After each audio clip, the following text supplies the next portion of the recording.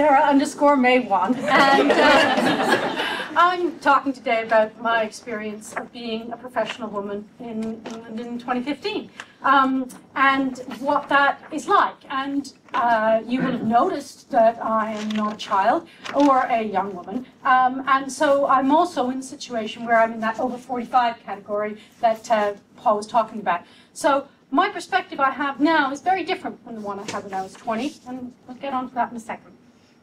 My title being Drowning in a Drip Feed of Molten Glass will be apparent in a moment. Um, so this talk is a description of my experience with reference to others, but it's largely about how I experience things. Um, so it isn't about trying to demonstrate that there is a glass ceiling. I'm not actually going to be talking numbers or anything like that. I know there's lots of other people doing that today, so I don't feel like I need to cover that. Um, but it is my explanation of the nature of the leaky pipeline, which is a phrase people talk about, about how can you have a, a, a, discipline or a profession that starts off with equal numbers of men and women and ends up with so few men, so few men leaving and so few, so many women leaving. Um, so why are they going? What's, what's the nature of that pipeline? I also want it to be an affirmation for women in the discipline, um, which I think is one of the things we need to have in any call for action. So that would be what I'm up to today.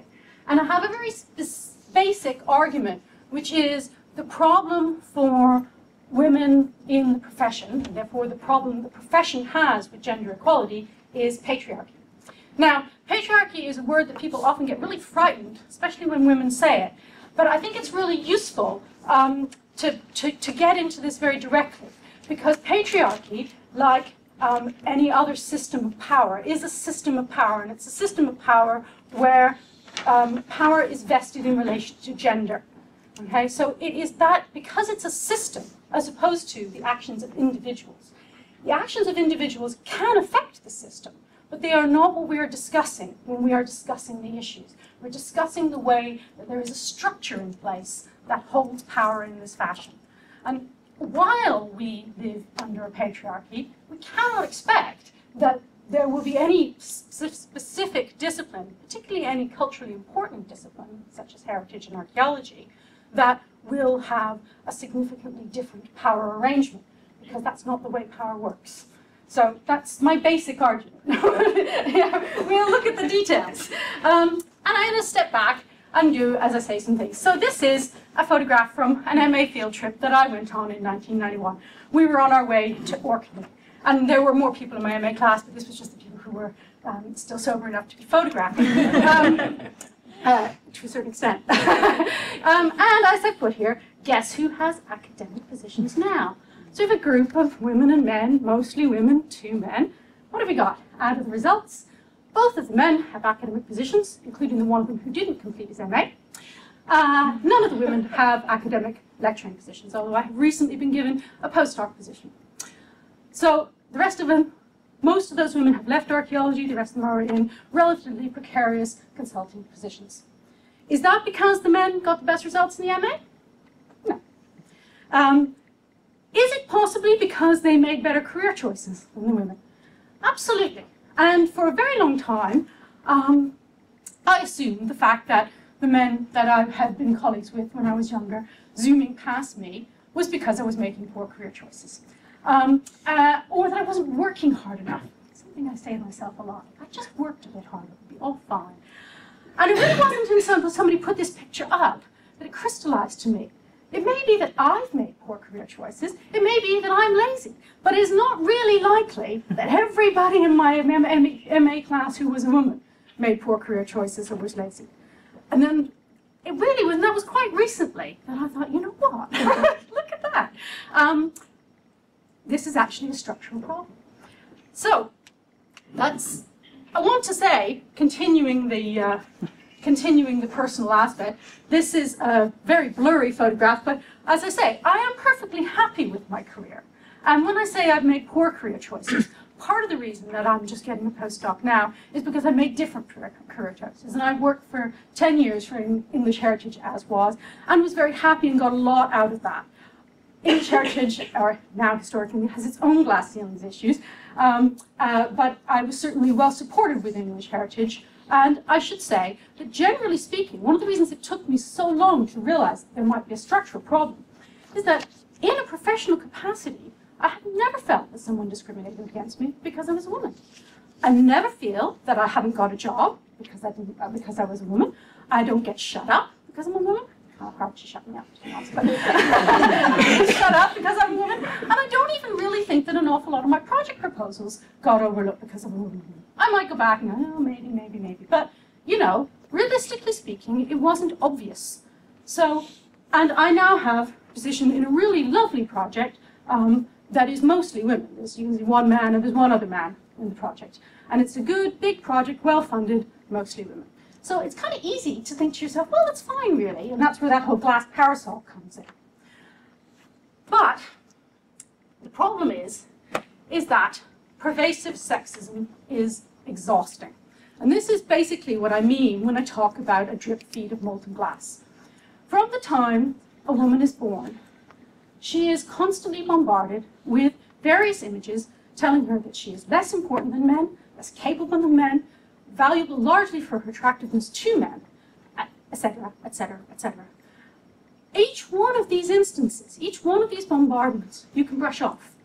Imagine a splash of glass. But over time, they build up. Over time, they get heavier. And that's how come some people over time find it harder to keep moving and give up. And that is basically what my the, the argument that I have to make. Now here is some of the drip feed as I talk about. this is the drip feed that you get. I hope you can read some of these. I haven't made them quite big enough, have I? These are things that I picked up in half an hour on Twitter, largely. Little things, senior managers saying keep up the testosterone levels when talking about leadership. Little tiny drips that constantly, constantly go on.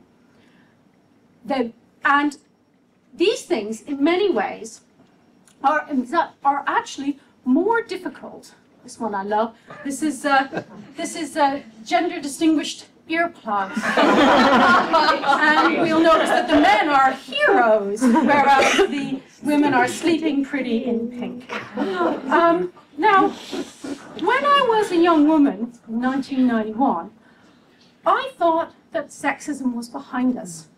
My mother and her generation had worked really, really hard to try and make sexism be behind us. And we all grew up thinking it was behind us. But that little display of bits and pieces of social media, clips and clips of, of, of newsprint, etc., indicates that, if anything, it is resurgent. Yeah? There is increasing amounts of this kind of needless gender distinction. There's increasing amounts of attacks on women in the public sphere if they try to speak in the public sphere. Um, and that it is not basically over. And I think some, some of the reason it took, again, it took me so long to realize there might be a structural problem, is that I was so sure that it was over. And so, to sort of prefigure what I'm going to say at the end, one of the most important things we need to do is recognize that it is not over, um, that it is something that is continuing. So when you look, I do a Google search for CEO, this is the first female face you run across. So Barbie is our best female CEO.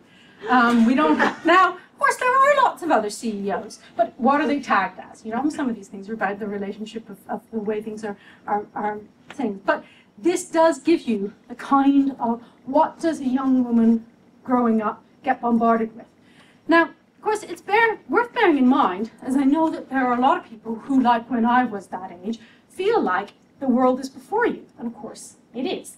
And um, as I said earlier, may feel I am not getting any sexism. I'm not, people aren't treating me any differently because I'm a woman.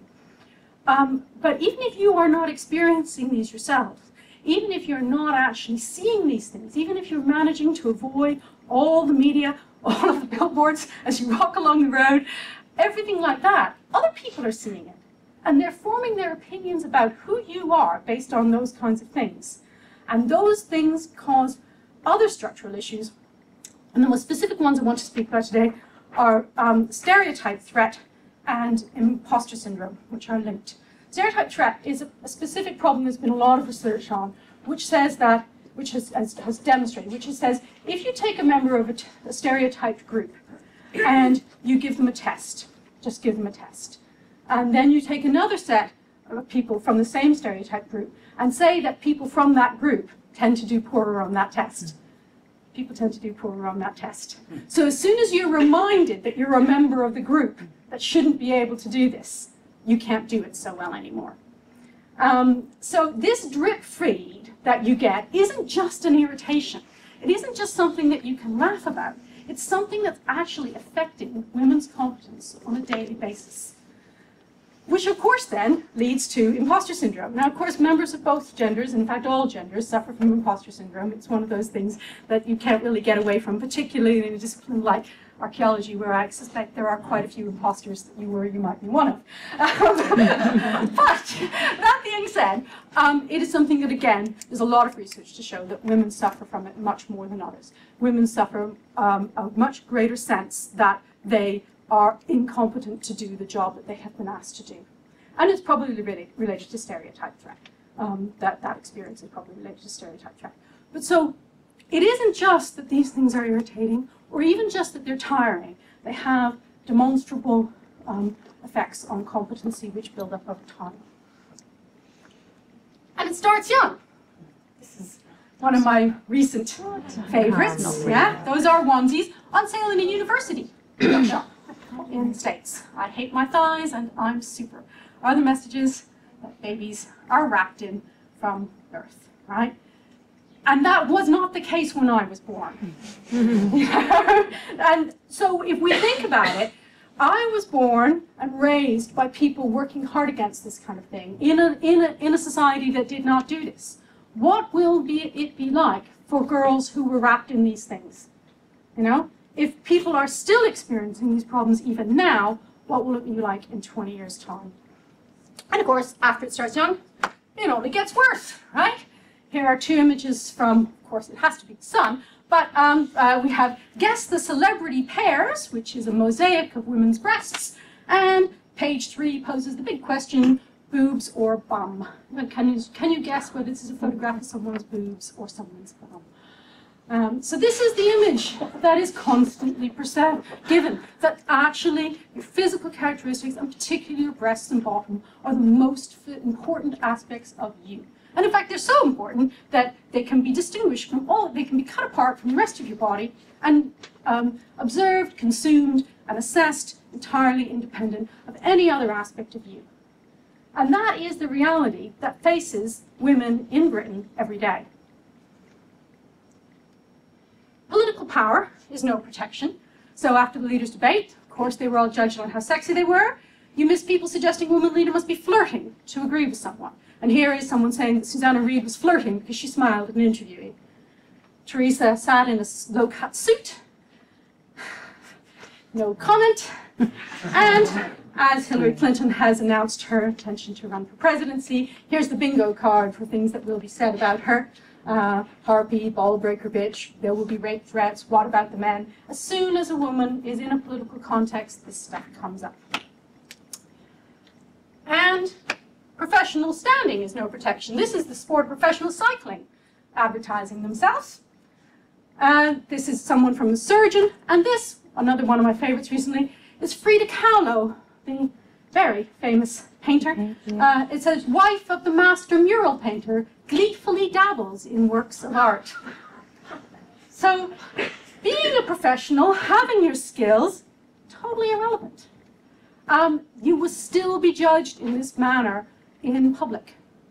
And every time you speak, you probably many of you are aware of the experience that Mary Beard has had in, in the last few years, where the, the level of abuse and sexualized abuse that she receives for speaking in public is, is, is really very overwhelming. And because she's because she has real power, you know, she is in fact a don. She actually has a huge amount of power behind her and she has a lot of personal power that has come that she's built up with that. She's able to cope, and she tends, tends to put them in their place. But that doesn't mean to say that A, it isn't exhausting to her, and B, it isn't um, something that causes her a difficulty. Yeah? Um, and, B, and C, this is the one that's more important, the abuse that she receives frightens other women. Yeah, makes it more difficult to think, will I say something? Hmm. Um, so archaeology has extra ch- challenges. Hypermobility, the fact we're constantly expected to move around, doesn't fit with the role that women are given under patriarchy that we should be the steady ones. Fieldwork harassment, I'm sure someone will bring it up, but there have been a number of studies recently published in One about women's experience of harassment in the field, which does cause a great deal of difficulty for women working in the discipline. Um, unclear routes to clear career progression. Because it's not possible always to see what you ought to be doing to get ahead, it's more difficult to see, it's why it took me so long, that you not, might not be getting ahead because of things to do with gender, right? Because it's really not clear who's getting ahead or why. And it isn't until you can get right to the end that you can see it. Similarly, and this one I think is quite important, culture of overwork and poor work-life balance. This is a real problem for women because of the socially mandated caring roles that women are meant to take on. So when someone is writing a book in their spare time, Joe, that puts pressure on women to write books in their spare time. And I actually don't have any spare time anymore. And um, so the idea that I can, can, can constantly find more time, it's corrosive to everyone, so we might as well give it up. Um, but it certainly is one of the things that makes it more difficult for women because of the extra social roles they have. Um, and again, I'm sure, I know there's a paper on parenting and that kind of thing today, so I haven't gone into that in much detail today. Um, and dead men's shoes. The stagnation of career progression in archaeology means that it is older people who are in senior positions, as, as Paul said. And that's important because men gain power as they age while women become visible. So these are a bunch of tweets what age you make the transition from silly little girl to stupid old hag? and then there's a set of quotes coming here about disappearing. I'm 43 and I'm disappearing. Not so long ago, my mum and I were talking, and she said something which is going to stick with me forever. When you're a woman over 40, you disappear. So if all of the power in archaeology is with people over 45, and women are disappearing when they hit 40, yeah, they're socially invisible, which is definitely another thing that there's a fair amount of evidence on. It's a problem. Um, so this gives us the appearance of the glass ceiling, because as women progress, they get more and more weighed down, more and more tired, and as they get older, they're increasingly discounted. So at that point, that's when you get this sense of, oh, I hit a glass ceiling, or someone else looking and say, oh, it's a glass ceiling. In fact, it's something that's been in operation all the way through. And as I say, career breaks, referred to as breaks, uh, for socially mandated caring either parenting or looking after older parents, even if you choose not to have children, even if you don't have children, um, that will exacerbate the situation.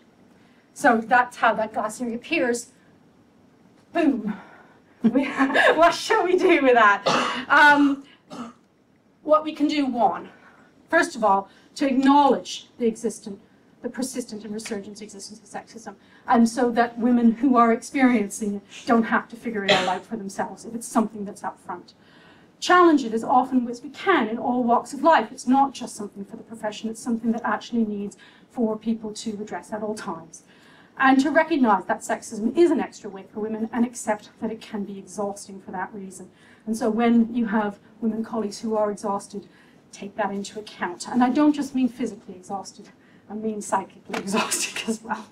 And in that, we need to be able to support women throughout their careers and not only worry about this kind of point at which they're dropping off, but actually to recognize that it's something that happens from the get-go and it needs support from the get-go.